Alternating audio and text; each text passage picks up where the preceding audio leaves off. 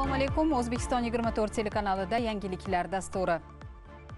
Ayni daqiqalarda axborot va ommaviy kommunikatsiyalar agentligida hududiy elektr tarmoqlari aksiyadorlik jamiyati tomonidan elektr ta'minoti bilan bog'liq dolzarb murojaatlar bo'yicha tashkil qilingan brifing boshlanish arafasida hozir ushbu brifingni jonli efir orqali e'tiboringizga havola qilamiz. Assalomu alaykum hurmatli elektr energiyasi iste'molchilari qadrli yurtdoshlar. Hududiy elektr tarmoqlari aksiyadorlik jamiyati tomonidan ikki ming yigirmanchi ikki ming yigirma birinchi yil kuz qish mavsumiga tayyorgarlik bo'yicha amalga oshirilgan ishlar hamda elektr energiyasini hisobga olish va avtomatlashtirilgan tizimini joriy etish yuzasidan ma'lumot berib o'taman. O'zbekiston respublikasi prezidentining ikki ming o'n to'qqizinchi yil yigirma yettinchi martdagi o'zbekiston respublikasida elektr energetika tarmog'ini yanada rivojlantirish va isloh isloh qilish strategiyasi to'g'risidagi qaroriga asosan elektr energiyasini yakuniy iste'molchilarga taqsimlovchi va sotuvchi hududiy elektr tarmoqlari korxonalarini boshqarishni amalga oshiruvchi hududiy elektr tarmoqlari aksiyadorlik jamiyati tashkil etildi. ikki ming yigirmanchi yil birinchi dekabr holatiga jamiyat tasarrufida o'n to'rtta hududiy elektr tarmoqlari korxonasi hamda ikki yuz o'ttizta tuman va shahar elektr ta'minoti korxonasi tomonidan o'ttiz besh bir yuz o'n kilovoltni kuchlanishga ega bir ming olti yuz yigirma uchta nimstansiya sakson ikki ming besh yuz to'qson birta transformator punkti va ikki yuz ellik uchta kilometr uzunlikdagi elektr uzatish tarmoqlari orqali o'zbekiston respublikasining maishiy va yuridik iste'molchilariga elektr energiyasi yetkazib berildi. ikki ming yigirmanchi yil boshidan birinchi dekabrgacha bo'lgan muddatda iste'molchilarga elektr energiyasini yetkazib berish bo'yicha ko'rsatkich qirq besh milliard kilovatt soatni tashkil etdi.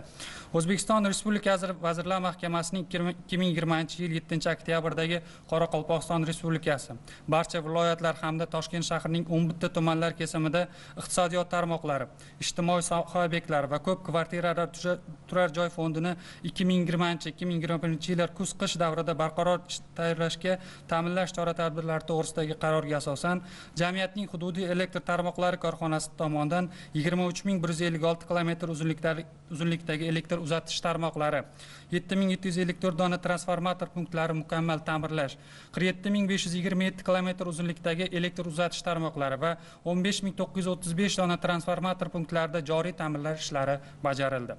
Hududiy elektr tarmoqlari korxonalari aksiyadorlik jamiyati kuz qish mavsumida ehtimoliy avariyaviy hodisalarni bartaraf etish maqsadida avariyaviy zaxira quvvati uch yuz to'qson besh dona tarmoq transformatorlari bu bir yuz ellik ikki dona transformator moyi bir ming ikki yuz ellik to'rt dona temir beton tayanchlari bir yuz sakson yetti kilometr uzunlikdagi sim o'ttiz to'qqiz kabel o'ttiz to'qqiz kilometr kabel mahsulotlari yetti ming yetti yuz yigirma yetti dona kabel muftalari zaxirasi yaratilgan. Yuzaga kelgan avariyalarni bartaraf etish maqsadida to'rt yuz yetmish sakkizta tezkor ta'mirlovchi brigadalar tashkil etilgan. Barcha brigada a'zolari aloqa vositalari hamda maxsus avtotexnikalar bilan ta'minlangan. Shu bilan bir qatorda kuz qish mavsumida iqtisodiyot tarmog'i va aholi elektr energiyasi bilan barqaror ta'minlash maqsadida ikki ming yigirmanchi yil oltinchi noyabrdan ikki ming yigirma birinchi yil birinchi aprelga qadar rahbar va mas'ul xodimlardan iborat tunu kun navbatchilik tashkil etilgan. Xabaringiz bor hududiy elektr tarmoqlari aksiyadorlik jamiyati tomonidan bugungi kunda respublikada elektr energiyasi iste'molchilariga o'zbekiston respublikasi prezidentining ikki ming o'n sakkizinchi yil yigirma uchinchi oktyabrdagi o'ttiz to'qqiz sakson bir sonli vazir soni hamda vazirlar mahkamasining ikki ming yigirmanchi yil sentyabrdagi elektr energiyasini hisobga olish va avtomatlashtirilgan tizimlarni joriy etishni jadallashtirish chora tadbirlari to'g'risidagi besh yuz to'qson to'rtinchi sonli asosan askoyi tizimiga mos keluvchi hisoblagichlarni o'rnatish ishlari amalga oshirilmoqda.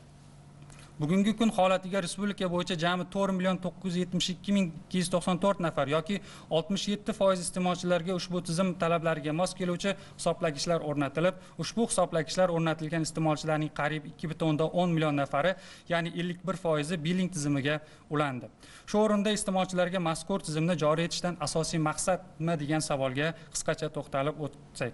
Mazkur tizimni joriy etishdan asosiy maqsad iste'molchi va ta'minotchi o'rtasida shaffoflikni ta'minlash yetkazib berilgan elektr energiyasi uchun hisob kitoblarni aniqlik kiritish. Shu bilan bir qatorda iste'molchilarning foydalangan elektr energiyasi uchun to'lov intizomini mustahkamlash elektr energiyasini taqsimlash hamda bir iste'molchi va transformator kesimida kerakli ma'lumotlarni olish va tahlil qilib borish. Shu bilan birga ushbu olingan ma'lumotlar asosida modernizatsiya ishlarini amalga oshirish imkoni yaratiladi.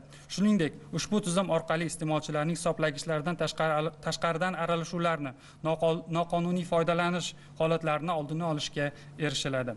Amalga oshirilgan tahlillarimiz shuni ko'rsatmoqdaki aksariyat iste'molchilarimiz oxirgi o'chirish chorasi ko'rilmagunga qadar foydalangan elektr energiyasi uchun to'lovlarni amalga oshirmaydilar. Foydalangan elektr energiyasi uchun bir yildan ortiq davr mobaynida to'lovlarni amalga oshirmagan iste'molchilar soni to'qqiz yuz uch ming uch yuz besh nafarni. Tashkil etib shundan qarzdorlar mavjudlari besh yuz yetmish uch nafarni. Hattoki uch yildan ortiq davr mobaynida to'lov amalga oshirmagan iste'molchilar soni uch yuz oltmish bir ming bir yuz sakson besh nafarni. Shundan qarzdorlar ikki yuz sakson uch ming nafarni tashkil etmoqda. Uch yildan buyon umuman to'lovni amalga oshirmagan qarzdor iste'molchilar samarqand viloyatida qirq olti ming bir yuz ellik sakkiz nafarni toshkent viloyatida qirq besh ming olti yuz sakson besh nafarni farg'ona viloyatida yigirma sakkiz ming yetti yuz yetmish nafarni va andijon viloyatida yigirma olti ming sakkiz yuz oltmish yetti nafarni tashkil etayotganligini ta'kidlash lozim. Shu bilan birga iste'molchilarning qarzdorliklari bo'yicha o'tkazilgan tahlillarga ko'ra bugungi kun holatiga qarzdorlik yuqori bo'lgan ya'ni bir million so'mdan uch million so'mgacha bo'lgan qarzdor aholi iste'molchilar soni bir yuz ellik yetti ming sakkiz yuz uch nafarni uch million so'mdan besh million so'mgacha o'n to'rt ming sakkiz yuz to'qqiz nafarni. o'n million so'mdan yuqorisi esa besh ming bir yuz to'qson to'qqiz nafarni tashkil etadi. Endi hududiy elektr tarmoqlari aksiyadorlik jamiyat tarmoqlari hamda ishonch raqamlariga iste'molchilarimizdan kelib tushayotgan savollarga javob berib o'tsam demak birinchi savol yangi o'rnatilayotgan hisoblagichlar ko'p hisoblaydimi? Hatto chiroq o'chgan paytlarda ham hisoblagich ishlayverayotgani aytilmoqda. Bu qanchalik to'g'ri? Yangi zamonaviy hisoblagichlar ishlab chiqarilayotgan zavodlarda har bir hisoblagich inson omili ta'sirisiz alohida bir nechta bosqichli ko'rish ko'rikdan o'tkaziladi. Ya'ni davlat meteorologik ko'rsatkichlari talabga javob bermasa yaroqsiz deb topiladi va u iste'molga chiqarilmaydi. Bu hisoblagichlar ko'p hisoblamaydi balki avvalgi hisoblagichlar kam hisoblagani uchun bu hisoblagichlar aniqlik sinfi yuqori bo'lgani hamda fuqarolarimiz nazarida shunday tushuncha paydo bo'layotgan bo'lishi mumkin. Elektr ta'minoti bo'lmaganda ham tizim bir aloqa mavjudligini bildiruvchi chirog'i yonib o'chib yonishi va xotira batareykasi borligi sabab raqamlarni ko'rsatib tushirish tufayli shunday fikr tug'ilishi mumkin. Iste'molchi hisoblagichni almashtirishga majburmi? Almashtirishni xohlamasa qanday chora ko'riladi?